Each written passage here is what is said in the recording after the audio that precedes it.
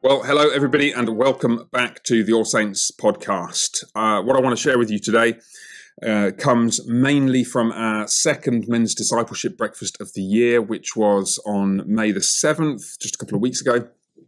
And uh, you remember that this series that we're in at the moment, uh, Pursuing Maturity in Christ, uh, began with the first men's discipleship breakfast of the year when I talked in detail through quite a small print two side uh, summary or manifesto of uh, what I think may be a helpful model for pursuing maturity in Christ. And what it boils down to is, as you'll know if you've um, listened to previous podcasts in this series, is the observation that the biblical pattern for growing towards maturity as a human being following Jesus is childhood. And childhood is a time during which our parents impose upon us structures that cultivate certain habits, and the habits then result in certain uh, facets of our character, and that character is supposed to be Christ like.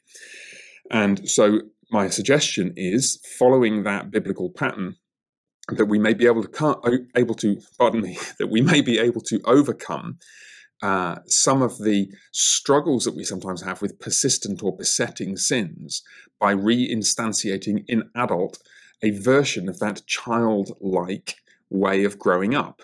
That is to say, we seek to provide for ourselves new structures that will uh, form in us new habits and create in us a Christ like character. Now, to do that, we're going to have to provide for ourselves all the things that our parents previously provided for us because we're not kids, we're adults. At least I'm an adult, and I suspect that most of the people listening to this are. If you're not, you're in a very fortunate position.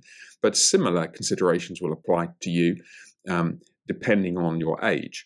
Uh, but suffice it to say that we will have to do the job of our parents if we're adults, which will include at least five things accurate self diagnosis, clear goals, well defined structures put in place, which will cultivate those habits and so on, track our own progress because our parents won't do it for us, and finally, we'll need to be committed to the task because there's nobody else to hold us accountable to it than ourselves.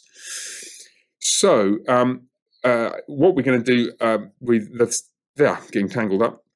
Uh, the uh, previous um, men's breakfast has just just um, passed. Basically, what we did was to start putting that into uh, practice by getting the men there to the point of uh, at the end of the session, uh, seeking to spend five minutes diagnosing three areas of their lives that, truth be told, are not Christ-like as they ought to be. And that's the important first step. I don't think it's the hardest step, but it's a step that many people never even take ever in their lives of actually sitting down and writing, defining in any kind of detail. Here are two or three things about my life which are not Christ like, which I'd like to grow in. And so those guys, I, I was really thrilled and delighted. Um, as uh, I often, or almost always, I think, I think I always have been since I've been at All Saints, been delighted by the response to the men's discipleship breakfast. We had 60 something guys there, and it was an encouragement to me. I hope it was an encouragement to them. And we had some great conversations during and after that time. So I hope that's helpful. There's a bunch of other stuff leading up to that um, yeah, in the uh, time we spent together. It's about an hour in length. Some of it will be edited out at the end just because it was five minutes of silence mostly, so that will be removed. But um, I hope that will be helpful to you. What I do want to do is just to uh, pick up something that uh, we talked about a little bit in last week's or last Wednesday's Bible study. That's two days ago. Which isn't going to be on the podcast this week. I think the men's discipleship breakfast will be more useful. Um, and uh, but nonetheless, there were some really, really helpful things, and some of them we're going to pick up in the future. This is another reason why I don't think it, we won't include the Wednesday night Bible study um, this time around. Um, basically, there's one thing we talked about which we're going to uh, pick up in the future, uh, which uh, is this bunch of books here um, by James Smith, "Desiring the Kingdom," uh, "Imagining the Kingdom," and Awaiting the King. This is his so called Cultural Liturgies series, which has been quite influential in certain Christian circles and is really quite good. Um, it's not an easy read, but it's a very worthwhile one. Each of these books is 200 and something pages. Um, but I'm hoping to do some teaching later in the summer. Um, talking about how these books relate to what we've been talking about. And briefly, what James Smith highlights is that um, the way that our lives are shaped is by our desires or our loves being cultivated in certain directions. And the things that cultivate our desires are what he calls rituals, sometimes explicitly uh, cultic or rituals to do with worship, sometimes cultural um, rituals or cultural liturgies is the phrase he uses. Now, that keys into the habits and character uh, framework we've been talking about, because just as habits lead to character, so certain patterns of life or liturgies lead to desires or loves. So I think there's an overlap there, and I'm going to be talking about that in more detail in the next couple of months, Lord willing. So I won't talk about it in great detail now. I just trailed it slightly in um, Wednesday night Bible study. And so I wanted to mention that here. The other thing I want to mention from Wednesday night, which was a really, really helpful question. There were a bunch of good questions, which we won't talk about. They'll come up at some other time, I'm sure. But uh, one question that arose in response to my uh, statement that I thought the hardest of these five practical points was well defined structures. Just recall the five um, things that we need to do for ourselves that our parents used to do for us are accurate self diagnosis, clear goals, well defined structures, uh, tracking progress, and absolute commitment to the task. I've said a number of times that, uh, in my experience, the hardest to help people with are the structures to put in place to reinstantiate the, the habits that we're looking to cultivate and to produce the character that we want to see in ourselves.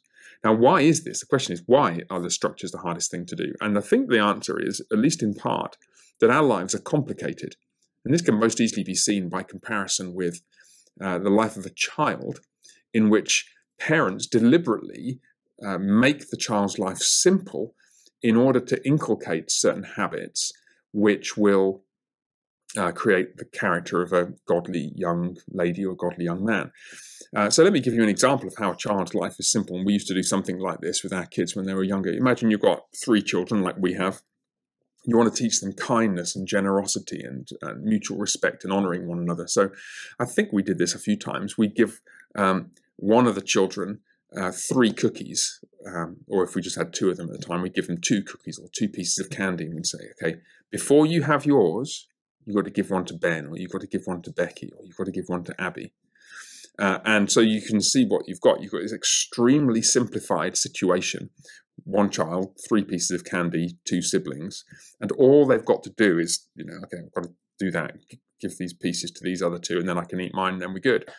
Um, now, what that little ritual or habit does, or the structure that gives rise to that habit does, is to create a really complex set of character traits over time uh, habits like that create a disposition of kindness and grace and generosity, which will then function in far more nuanced and complex and uh, complicated situations in life, where it's not just you and three cookies and two other people.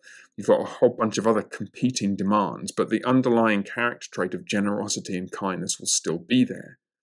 Now, the problem is where we find ourselves as adults is we're in those complicated situations. And the whole point about adult life in this connection is that we can't just step away from all those responsibilities and go back to a super simple world where I'm sitting in a chair with three cookies and two people and I'm learning generosity by doing that. That's just not how we function. And so, because of the complexity of the situations in which we find ourselves, that's what gives rise to the difficulty of formulating structures to teach ourselves godly habits and godly character. Um, you think of some other examples, um, perhaps by considering something which in adult life is relatively easy to uh, put in place. Suppose you've got somebody who just doesn't have a, a, habit of regular Bible reading and has no real thirst, therefore, for the Word of God, and they realize this is a problem. Well, what you can do is just put something in their day, um, like 10 minutes in the morning with a mug of coffee and a Bible and a comfortable chair and your, no distractions. So your phone's over the other side of the room or in the house or switched off or something. And you encourage them just to embrace that habit. Uh, but again, you see that is a very, very simplified part of their life. Most of their life is much more complicated than that. So if they've got a problem with, I never really spend time reading and the Bible and praying, you can probably address that with a structure that's comprehensible and easy to devise. But if the problem is more complex, like there are just tensions in the way that you relate to uh, a relative in your family, perhaps a spouse, or um, you have a uh, you're struggling with dealing with temptations to pornography or something of that kind. Well, the circumstances in which those problems that you're trying to deal with arise are very varied and very complex. And it's hard to design a structure that will help you to deal with them. So, what that means in practice, it seems to me, is this is the point uh, at which pastoral counsel and perhaps the involvement of other people, like the person you're relating to or you've got trouble relating with, is most valuable. Uh, one of the things that I said in um, Wednesday night, uh, which I've talked about uh, previously in this series, is that pastoral counseling is not the solution to systemic problems of ungodly habits and the resulting ungodly character. Pastoral counseling can be the solution to certain kinds of question or difficulty. But when there's a systemic character, behavioral, lifestyle issue at stake, going to get advice doesn't change the underlying pattern of behavior. But what it could do, and where I've seen it actually bear tremendous fruit really quite quickly in a period of weeks or months, what pastoral counseling of some kind can do is to help us to create the uh, structures that will help us to correct the kind of patterns of life that we're frustrated with and want to be rid of. In other words, I don't know what to do to help myself to have a better relationship with my brother. Well, sit down with your pastor and see if you can work on frameworks for approaching life and frameworks for approaching those more complex situations, which will help you to instantiate better habits in them and therefore create in yourself uh, a more godly character. That, I think, is a very, very helpful um, way to approach what I do think is the most difficult aspect of these five practical steps. Okay, so we'll talk about those things, I think, um, at some future time. Um, desiring the kingdom, imagining the kingdom, and, wait, and, awaiting the king. Jamie Smith, we're going to come back to that at some point in the future, and we may spend uh, two or three sessions looking at that because it's really rich and deep material. Uh, we'll have to see how much time we have and how deeply I get into it. Uh, but for now, um, hope you enjoy listening in on our men's discipleship breakfast from May 7th, 2022. I had a wonderful time, very grateful to the guys who, were, who came and participated. Uh, I was tremendously encouraged. I, I, think they seemed to be as well. Certainly, we had a good time. We had some great food and some great fellowship, and I think the teaching was helpful too. So, hope you find it helpful. That'll do for now. The Lord bless you. Take care and see you next time. Bye for now. Merciful Father, we are grateful to you for every good gift you've showered upon us, how you've blessed us. We look around us even now and we see a company of brothers in Christ and uh, the food that we've enjoyed and how many of our brothers and sisters across the globe would love to be sitting here with us. Wouldn't it be? What a joy it would be for our brothers in Ukraine to be able to join us here, and they can't. Um, and you have given us much very, very much. From those to whom much has been given, much is required. Your word says so. And uh, we confess that sometimes we become so preoccupied with our own imagined uh, strife and difficulties, uh, or so depressed with our own imagined failings, that uh, we produce little. We become unproductive. And our forefathers in the faith and our brothers and sisters in Christ across the globe would look at us with dismay, thinking, what are those guys doing? They have resources of which we cannot dream and yet do so little with it. So we confess to you, first, Father, our sins of omission, and we praise you for the forgiveness that's ours in Christ. And we come to you now as renewed, new men, uh, excited to sit under your word and at the feet of your Son to be taught and trained. We want to be more faithful disciples. We want to be emissaries of Jesus cheerful and joyful and fruitful and productive and godly and gracious and courageous and displaying every virtue in abundant measure. And we know that means we need to look at ourselves pretty seriously from time to time. And this is going to be one such time, we pray. And so make it so, we pray. In Jesus' name, Amen. Amen. Okay. The title at the top of the white sheet today Christian Diagnose Thyself is obviously a pun of some kind from uh, Luke 4, where Jesus was unjustifiably, well, he was anticipating being unjustifiably told to examine or um, heal himself. Like, people would suggest that he's got a problem that needs to be fixed. That's not true. Um, however, uh, we do have a problem that needs to be fixed, and there, there arises the title and the theme for today's men's discipleship breakfast. Um, Uh, I want to recap to begin with, and you'll find roughly I'm going to be talking through what's on the sheet here. Um, and don't worry too much if I spend quite a lot of time on the first two or three inches. We speed up after that, and um, then we'll make some progress. Um, uh, most, if not almost all of you, were here a couple of months ago when I talked through this um, uh, sheet, uh, double-sided. I did what I almost never do, which is to write out in full pretty much what I wanted to say and then comment on it as I went.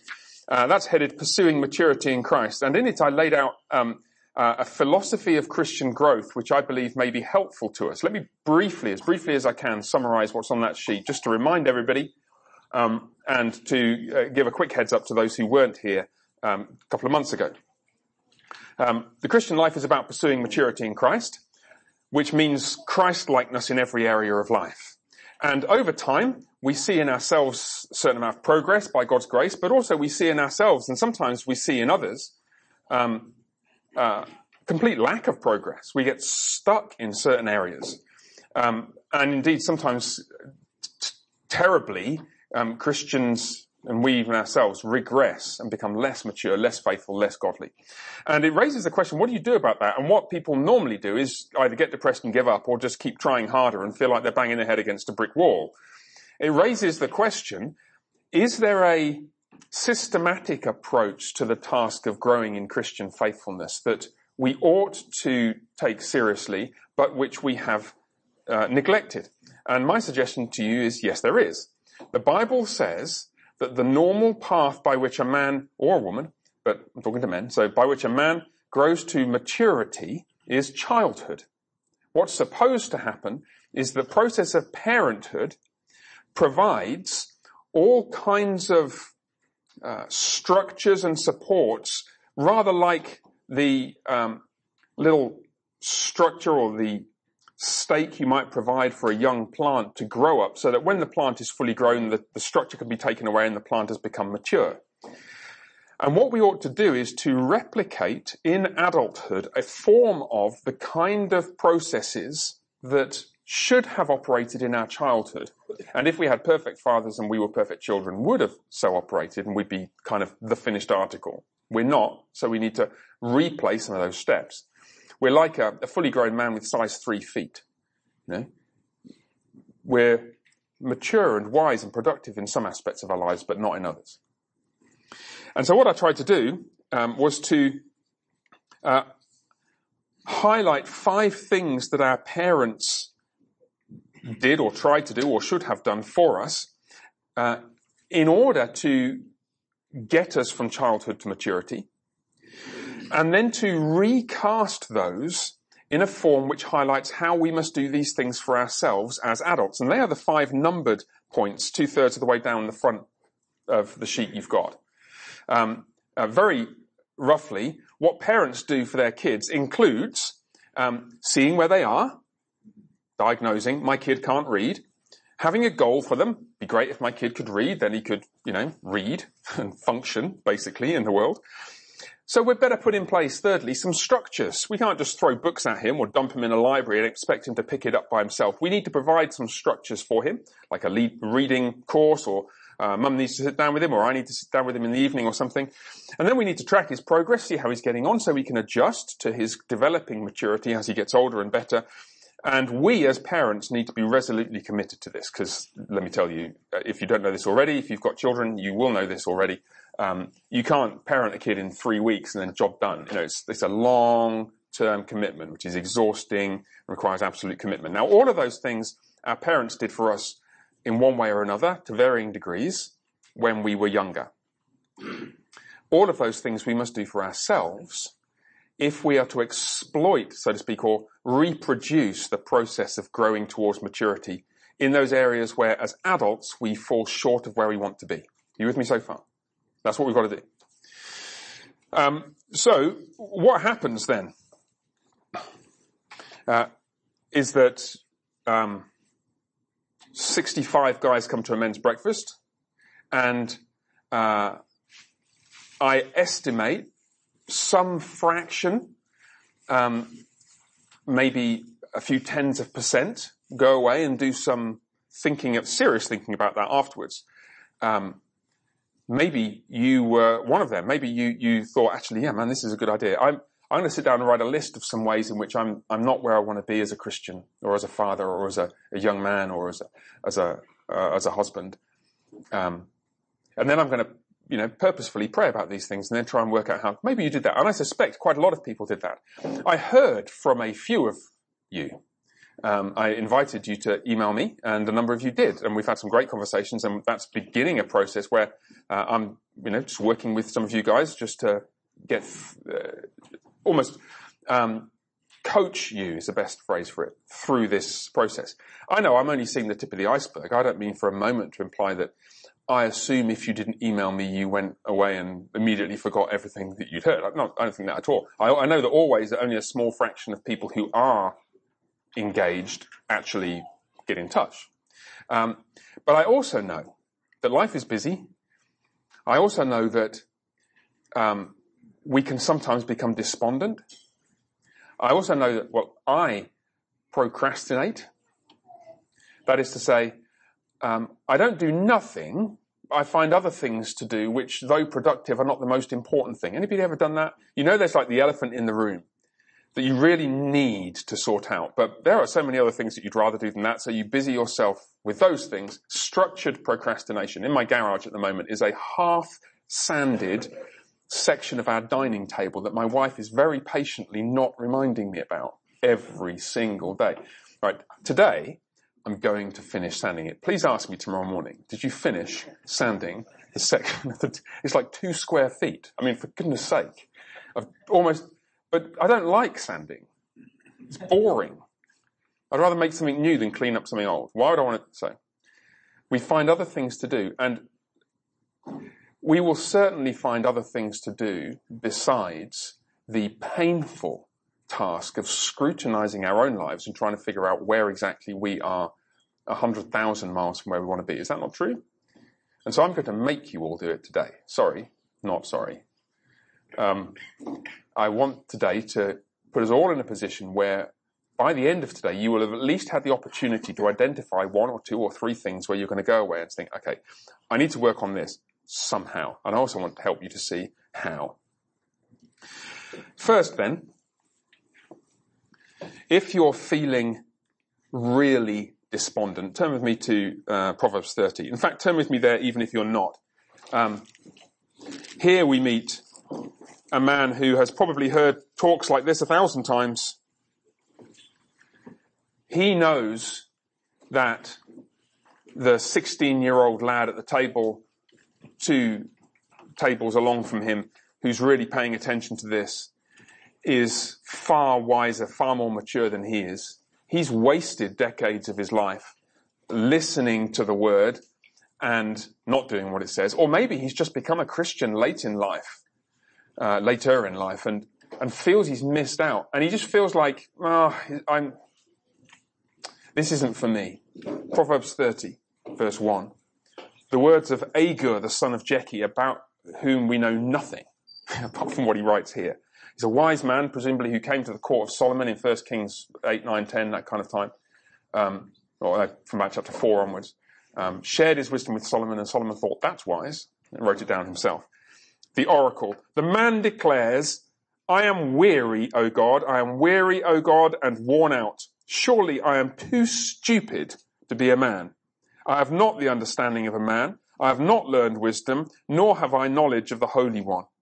Anybody feel like that? I'm just like, I'm useless. And if all the men half my age in this room knew how useless I was, how ashamed I feel. Well, I just hope they don't know that because then they might give up as well, and that'd be terrible for them, just as it's been terrible for me. I'm like old. I wish I was 15 again. Because I won't make all the stupid mistakes I've made in the past. Who has ascended to heaven and come down? Who has gathered the wind in his fist? So who has done that? Well, that's the living God.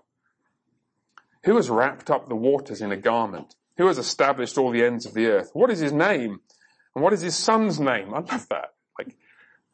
Surely you know. Well, we do know his son's name, don't we? We know the name of the son of the one who gathers the waters in his fists. His name is. Thank you. Jesus, there we are. Woo. Go to the top of the class. So where, so having looked into the long distant future and seen dimly that which we see more clearly, where does he turn now? Verse 5 Every word of God proves true. He is a shield to those who take refuge in him, however old and useless they are and feel. Do not add to his words, lest he rebuke you and you be found a liar. It doesn't mean you need to go and sit on a desert island with the Bible and nothing else. Don't add to his words. It means don't add anything else to the word of God. What you, nothing else has the status and the standing of the word of God. In other words, this desperate man who came to Solomon's court, presumably, and either told the tale of or described himself as being useless. Nothing can be done for me, Solomon. By the time Solomon had finished with him, he'd realized that God is in heaven, his son one day will be on earth, and the word of God is all you need. Hmm.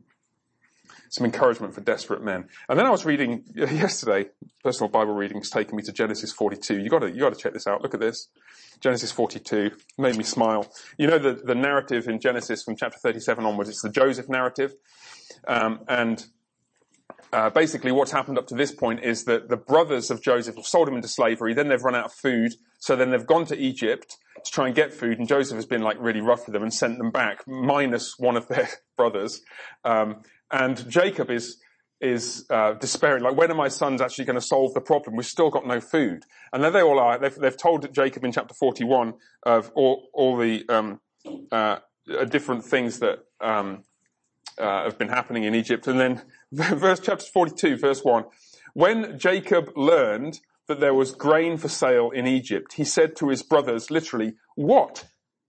You looking at each other. Literally, two words in Hebrew. Why are you just sitting here doing nothing? Are we just going to sit here and starve? Like, you have heard that there is food. Would you please get off your backsides and go and get some? Wise words from their father. And he said, Behold, I have heard that there is grain for sale in Egypt. Go down and buy grain for us there that we may live and not die. It is the simple exhortation of a man who says, Look, we, we know where there is food available. Please go and get some. We've, we know where there is food available. We know where there is um, bread which isn't bread alone available. So hear those words as an exhortation. There's, there's grain for sale. Who wants to come and get it? Anybody?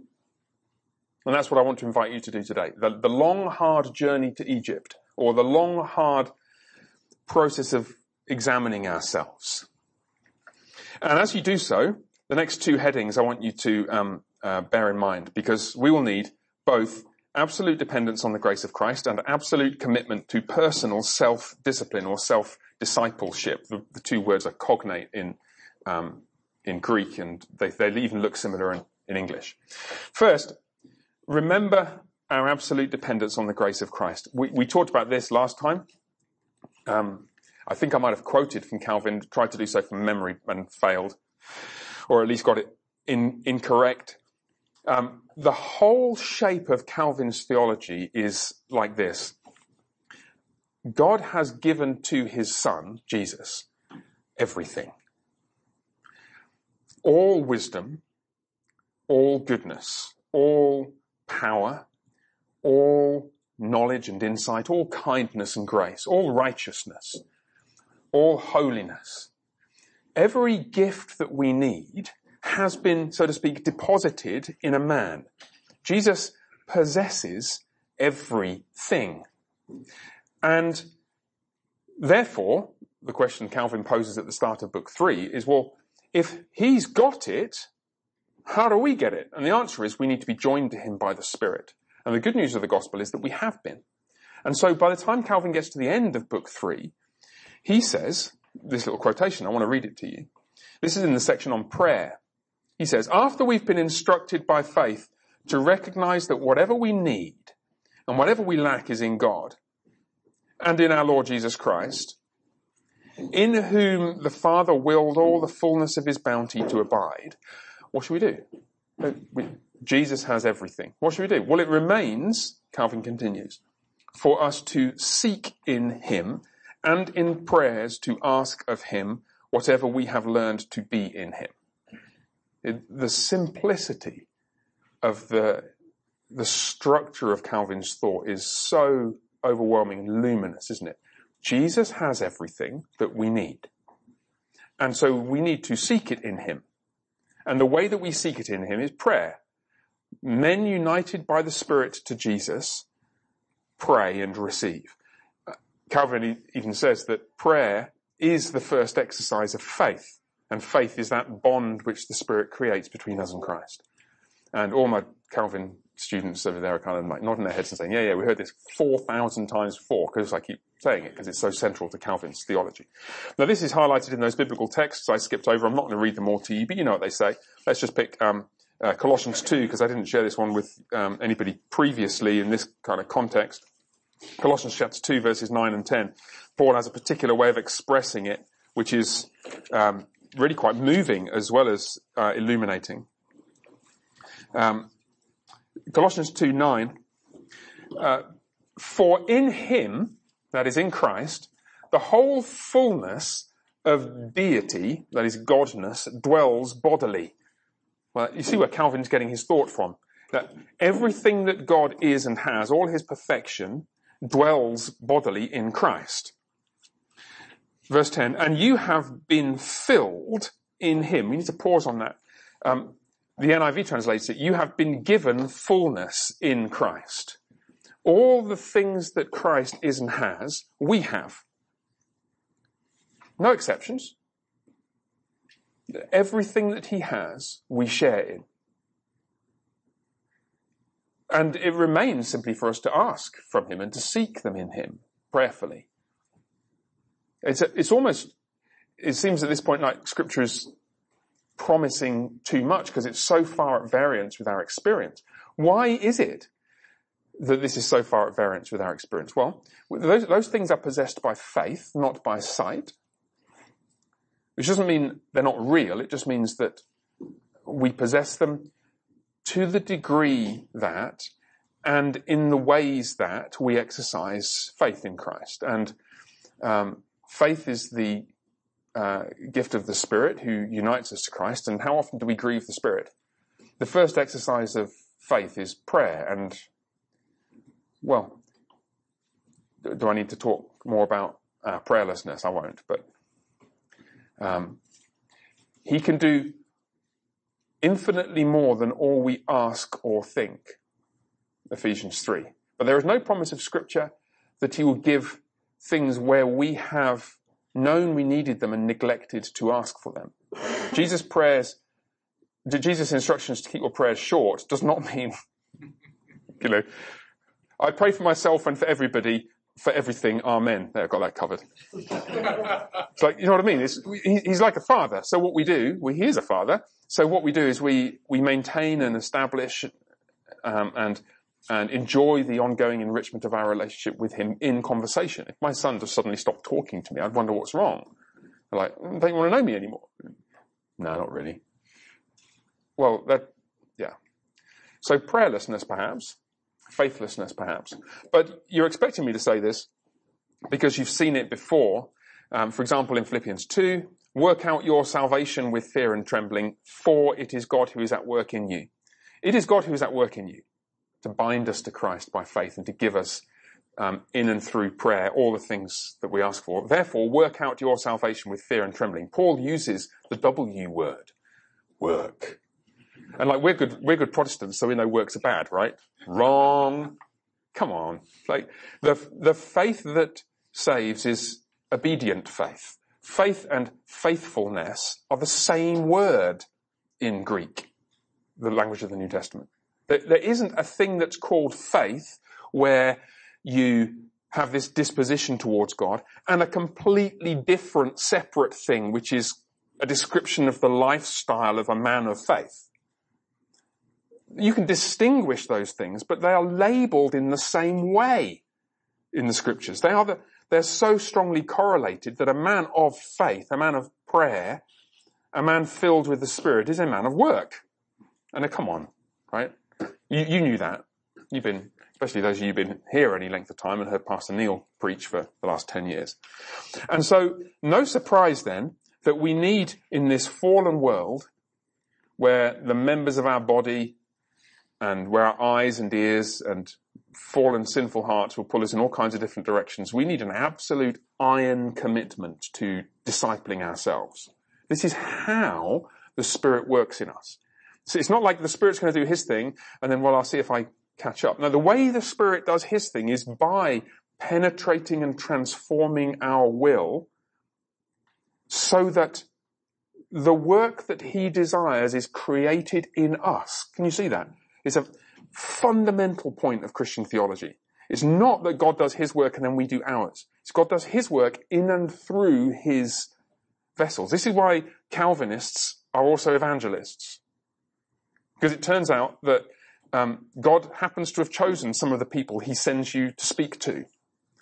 Is why people who trust the living God work out their salvation because it happens to be the case that the way that God acts graciously to us is by penetrating our hearts and changing our lives. And so you see this um, in a few different places. And I want to just dump a bunch of scripture texts on you. Proverbs chapter 2 is really striking. Just turn back to Proverbs 2 1 to 5.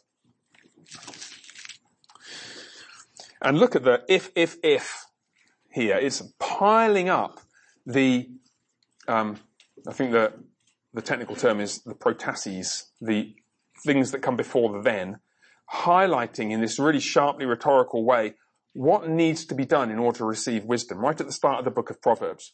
My son, if you're going to receive wisdom, this is what you need to do.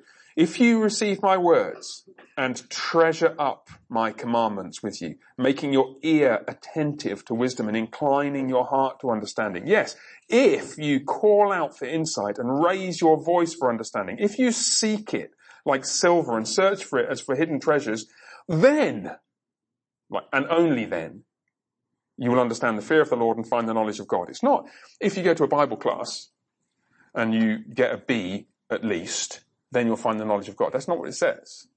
You see all the striving and longing and yearning and seeking and searching and, and straining towards the goal that the first three verses imply. And the same thing is echoed in all these other texts. 1 Timothy 6, I'm just going to skip through them very quickly without much in the way of comment on any of them. 1 Timothy 6 verse 11. As for you, man of God, flee these things, that is the love of money and all the, the ungodliness that comes with it. Pursue righteousness, godliness, faith, love, steadfastness, gentleness. Fight the good fight of the faith. Take hold of the eternal life to which you are called. See, look, look at the verbs. Flee, pursue, fight, grasp. Don Carson once said, nobody ever drifted into godliness. Brilliant insight. He's a Baptist theologian, you probably come across him, but he's at his best when he's bringing rich and deep theology to bear on the realities of life. And I've never forgotten that. I heard it in a talk that he gave in about 1995 or something. Nobody ever drifted into godliness. Decide. There's like 2,000 people in the room and you could hear a pin drop. Uh, first, first Corinthians 9. Let's just skip around here a little bit. Verse 24. Do you not know that in a race all the runners run, but only one receives the prize? So run that you may obtain it. Imagine if there's only one guy in here who's going to grow in maturity in Christ. Now that's not true, right? That's not true. But imagine if it were. What would you do? well, the chances are like 2% that it'd be me, so I might as well just not. Now that's a, that's a strange and bizarre illustration because it places it at odds with, us at odds with each other. That's not the right way to think. But Paul comes close to that, doesn't he? Imagine. Like, if you had to be really committed, well, then what would you do? Well, maybe I'd be really committed. Um, every athlete exercises self-control in all things. They do it to receive a perishable wreath. So athletes will discipline themselves and and only eat the right food and get up at five in the morning to do their exercises to get a, a, little ring of, of leaves that will rot in about two weeks. And we do it to receive an imperishable crown. Verse 26. So I don't run aimlessly. I don't box as one beating the air. It's a fascinating way of thinking. You, there's a self-disciplined, thoughtful, studied approach to how exactly I should be living in order to grow in godliness. Can you see? It's what I'm trying to get at with last week's outline and with the, the numbered points here. It's not just, oh, I'm going to try really hard. Well, loads of people try hard and get nowhere. I don't do it aimlessly. I discipline my body and literally make it my slave. I enslave my body so that after preaching to others, I'm not disqualified. Now, you could be able to talk the talk really well, uh, be disqualified. Um, 2 Timothy 2.22.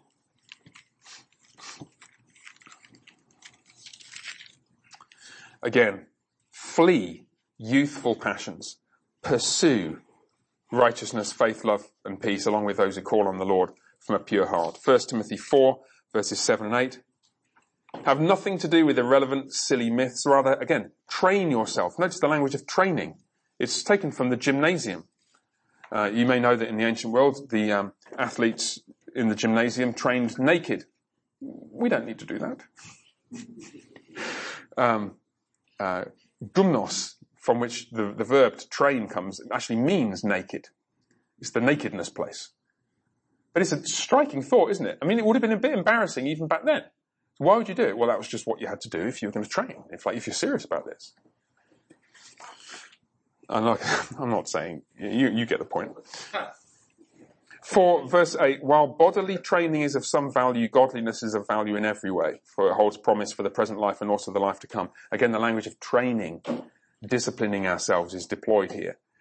It's, we're, we're to expect something which is hard work, emotionally exhausting, perhaps at times a physical strain to us, which bears no apparent fruit initially. Initially, it might make you feel more exhausted the, the first thing that happens when you start taking seriously the process that I'm about to walk through with you in these five numbered points, the first thing that happens is you might start feeling irritated, like with me, for ruining your day. You might. Just like the first thing that happens when you go to a gym is that you feel like, well, everything hurts. And then it hurts about three days afterwards. And then you go back again, you go back again. And that's actually, then after you've been going about six weeks, you can lift twice as much weight as you could the first time, and it doesn't hurt so much. You notice that? Because you're making progress. But that's what the training illustration implies. Hebrews 5, turn forward to there. I've got my teeny tiny Bible today, so it's fiddly, but anyway, got it. First world problems, eh? Verse 14. Solid food is for the mature. Well, who are the mature? Who are the ones who are ready for solid food? Well, you, you know who it is now, don't you? Um, those who've had their powers of discernment, there it is again, trained by constant practice.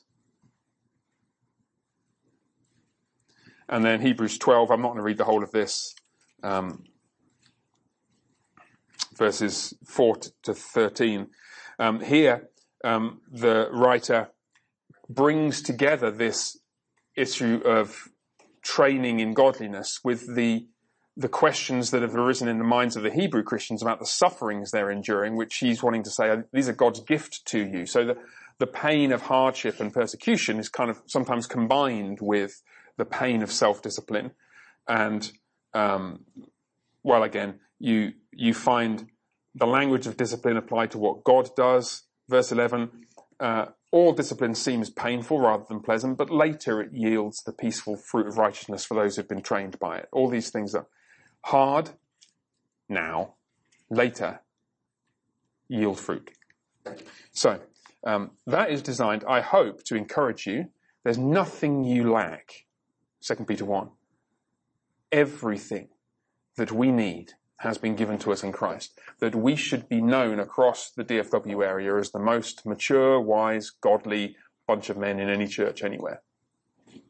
We're known actually for a bunch of different things. We're that weird church that kneels for confession, sings psalms. The guys get together on Tuesday nights at the cigar lounge and chant psalms.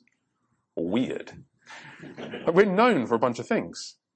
We're known as the church which uh, thinks it's okay to have a drink, and it is. We're known for all these things.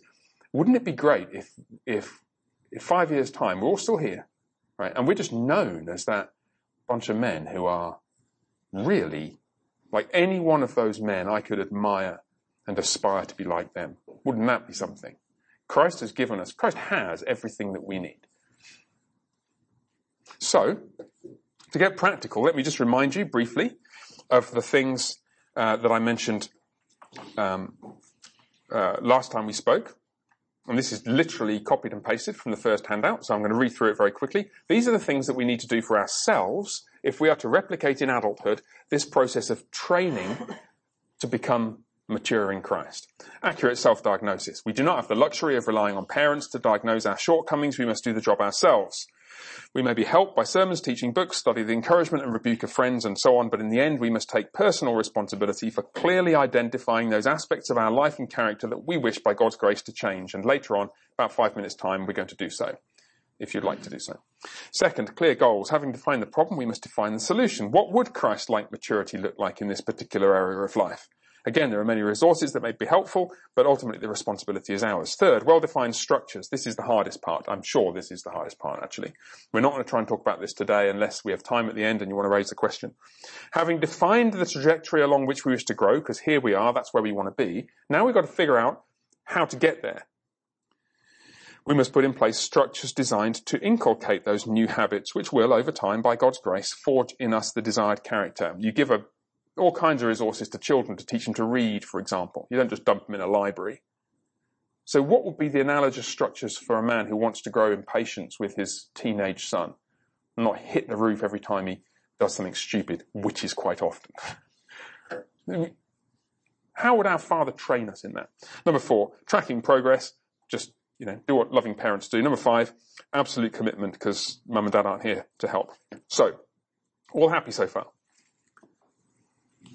Good. Delirious, I can tell. All right, so now what I'm going to do, I'm going to re- I've never written anything like this before. I'm going to read to you a somewhat caricatured, but I hope nonetheless uh, helpful description of you. This is how um, somebody might describe you, perhaps in a few years' time. It misses off all kinds of details. There are many virtues here which are not alluded to.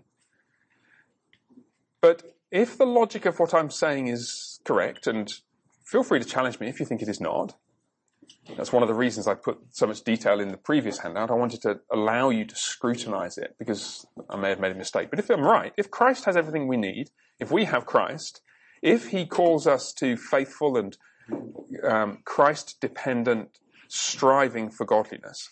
And if we're committed to those things, there is no reason in the world why in five years' time this would not be how a man describes you. Here goes. I'm going to read it, and then I've got the final exercise for you before we finish. He loves his wife, and it shows, for with every passing year she seems to grow more and more radiant, both with the inner beauty of a gentle and quiet spirit, and with the overflowing joy and contentment of a woman whose husband is gracious, understanding, sacrificial, and single-mindedly committed to her. His children are happy and godly in large part because he's a loving, patient, kind, and consistent father. He and his wife have created a delightful and hospitable home that's frequently filled with visitors and friends. He's a man of self-control in those areas where many men habitually fail, such as sexual purity and alcohol consumption. He knows that other women exist, and that many of them are younger than his wife. But for years he has cultivated a studied loathing towards those whose feet go down to death, Proverbs 5. You can hear allusions to the second half of every one of Paul's letters and half the book of Proverbs in this, these paragraphs, I know. And for him, sexual infidelity of any kind would be unthinkable. He knows how to, how to enjoy a couple of beers, but he knows it's not possible to enjoy six or seven. He's unfailingly cheerful. He experiences adversity like anyone else. Yet he's trained himself to endure hardship with gratitude as the loving discipline of a, hev- of a faithful heavenly father. His speech is measured and thoughtful, not hasty, ill-judged, reactionary, or provocative, and always reflects the even temper of a man in control of his emotions. It's not that he never disagrees with others, but such disagreements are never knee-jerk reactions but rather reflect careful attention to what others actually mean. He has a remarkably long emotional fuse. Even under intense provocation, he never loses control. His distaste for gossip or slander is palpable. Not only does he refuse to indulge in it, but in his presence, others quickly desist also. When he speaks, others listen, and just a sentence or two from him seem to carry more weight than the endless rambles and rants of other men. He is prodigiously competent in his professional sphere. His colleagues regularly refer to him as gifted or talented, though in truth his abilities simply reflect the accumulated effect of decades of hard work. He accepts praise without either pride or false humility, but simply with thankfulness to God and for the opportunity to get back to work tomorrow and produce more of the same. He's organized, never idle, and consequently accomplishes a tremendous amount each day. Yet he never exudes the aura of busyness or preoccupation with work found in others who work long hours and which some men seem even to cultivate. He's a man of integrity, known by his employer, his staff, his children, his wife, and everyone at his church as a man who speaks the truth and keeps his word. He's proactive. He doesn't need to have work pointed out to him or be cajoled into doing it. Whenever he sees a job that needs doing, he instinctively just gets on with it. He's possessed by a generous spirit, tithes faithfully and regularly seeks opportunities to give in other ways. This sacrificial instinct is also evident in the other aspects of his service at church. At church events, he's frequently first in, last out, and no task, however unglamorous, is beneath him. He's equally at home in the company of many different kinds of people. In his presence, men stand up straighter and ladies are at ease, while children instinctively watch what they do and say, while at the same time feeling unintimidated and able to relax. He's prayerful, but never displays the kind of elevated pseudo-pious demeanour of a man who's proud of himself for being so. He's a man of the word and a thoughtful reader of theology, yet he entirely lacks the aggressive, combative spirit of some wannabe theologians, and never becomes obsessed with doctrinal minutiae. Rather, he's a man of wisdom, whose knowledge, which is extensive, is tempered by the recognition that there is vastly more that he does not understand. He engages wholeheartedly and thoughtfully in corporate worship, but though he's thankful for the care taken over liturgical details in his own church, this never becomes a point of contention or divisiveness. He's perfectly content to worship at the local evangelical Baptist church while on vacation. I nearly put charismatic evangelical Baptist church. and perhaps I should. Shots fired. Shots fired. Yeah, thank you. Vacation. I mean, above all, he loves Jesus Christ and is committed to growing more like him. By God's grace, he is. Now, gentlemen, there is, there is no reason why that shouldn't be how all those other guys at the cigar lounge describe you. There's no reason. Apart from the fact that right now, all of us, myself included, know that there are areas of our lives where where um, we're not the finished article. We don't measure up to this or to any equivalent description of a man, do we? That at some points you might be pretty close. I can think of some men who are always first in, last out, or who are respected by their colleagues at work, or who are prayerful or peaceable men of the word. I can think of guys like that. You guys, some of you here. All of these where do you think I got these virtues from? I, I was thinking about the second half of every Pauline letter in the New Testament and you lot. I recognize these traits in you, but we recognize places where these traits aren't in us, don't we? And if I'm right, and I think I might be on this occasion, the first thing that we ought to do is to identify those places.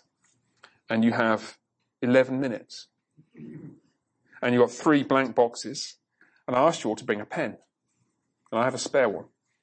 If anybody needs it. Well, actually, I don't really have a spare because I need this one. Um, I'm going to invite you to spend five of those minutes just scribbling down in as much detail as you like. Uh, there may be things that you don't want to write down because the guy next to you might see it, and like, I, I need to deal with this myself before you know sharing it with Louise or something. You know, uh, fair enough.